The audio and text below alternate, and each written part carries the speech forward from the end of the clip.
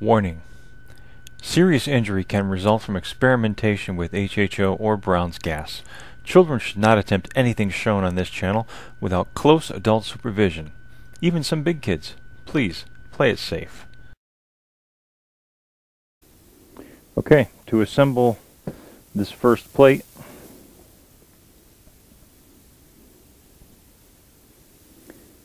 I am going to put a bead of adhesive all the way around the inside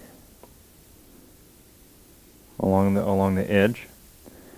Set the plate on top of it let it squeeze out and then put another bead around it and put the next ring in. There you get a look at how I've created the bead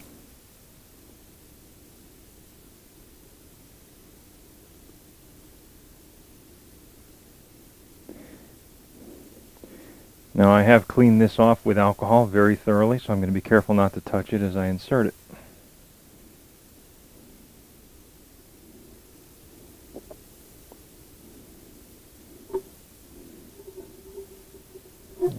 lower it down into place slowly.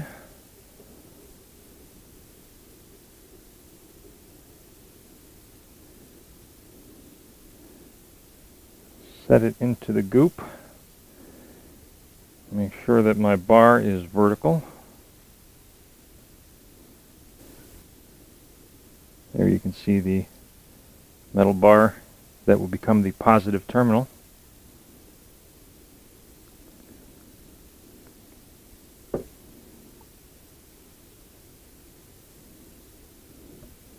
And you can see how the plate has set up inside there.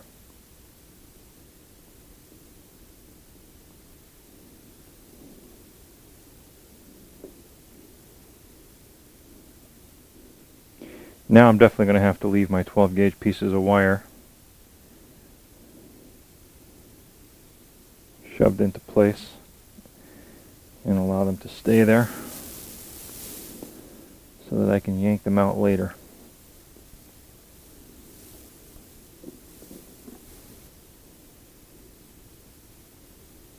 Once again,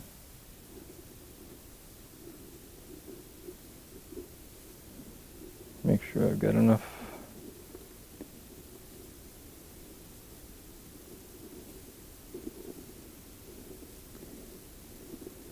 of a bead going all the way around.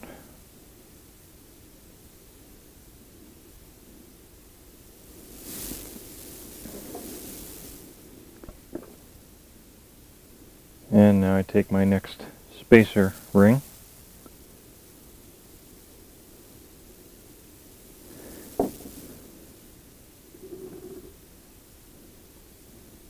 Inside the opening.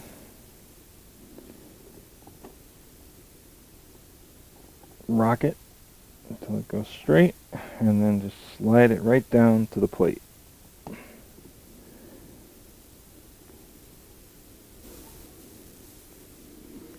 What you will notice is that some of the adhesive has squeezed out from underneath the edge of the C-ring onto the surface area of the plate and it has decreased the surface area of the plate ever so slightly.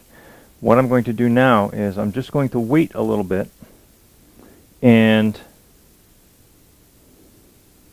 allow it to dry, go around that edge with an X-Acto knife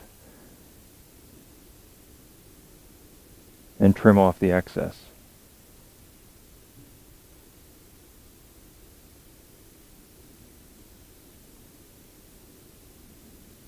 My next bead will probably be a little bit smaller because I don't want quite that much squeezing out. Alright, um, as I assembled this together and looked inside, I'm looking at how the channel passes underneath this plate or underneath the C-ring and I realized when I stick my next disc on top of that, I've created a perfectly trapped airspace.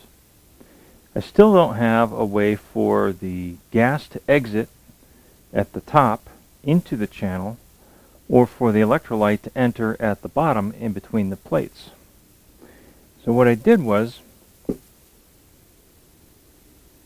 took one of my C-rings and cut a notch with my Dremel tool so that where they meet creates an opening down to the channel and at the top I drilled a small hole that I marked with a sharpie after inserting it into the tube and and locating exactly where it needs to be and then drilling a hole in the top so that when I assemble this inside the 3 inch pipe the gas will have some place to escape in between into the channel that joins the uh, the chambers together between the plates.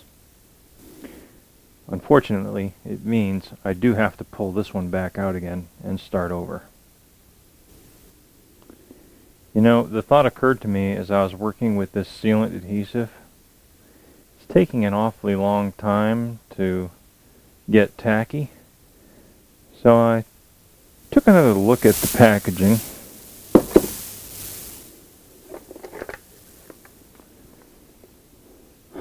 And what does it say?